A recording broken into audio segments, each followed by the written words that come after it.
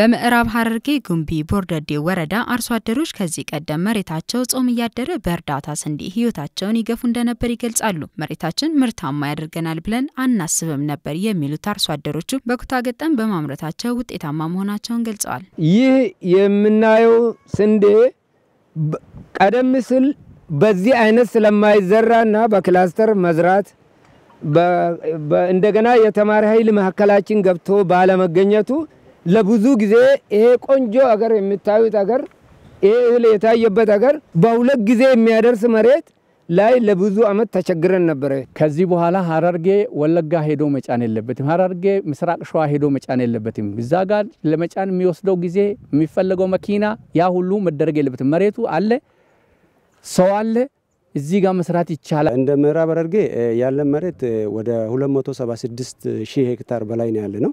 ከዛ ውስጥ በክላስተር ዘርተናል ብለን የምናስበው ወደ 108 ሺህ አካባቢ ነው። በክረምቱ የመኸር ወቅት በኩታ ገጠም የእርሻ ዘዴ በመቀናጀት ከ335 ሺህ ሄክታር በላይ መሬት መታረሱ ተገልጿል። የምግብ ዋስትናቸውን እንዲያረጋግጡ ከዚህ አንጻር እየሰሩ ይገኛሉ።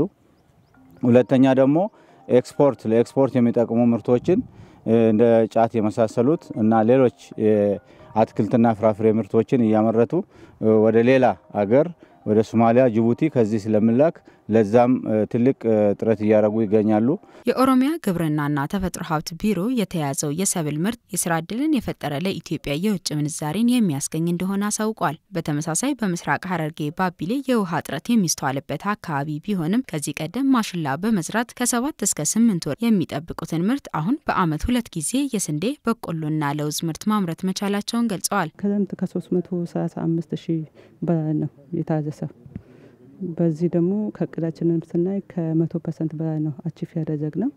ከዚህ ደግሞ ብዙ ምርት ነው የምንጠብቀው። በምስራቅና ምዕራብ ሐረርጌ የሰብል ምርቱን የጎበኘው የኦሮሚያ ግብርና ቢሮ ልዑክ ያሉበትን ውስንነቶች በመቅረፍ ምርታማነትን ለማረጋገጥ እንደሚሰራም ገልጿል።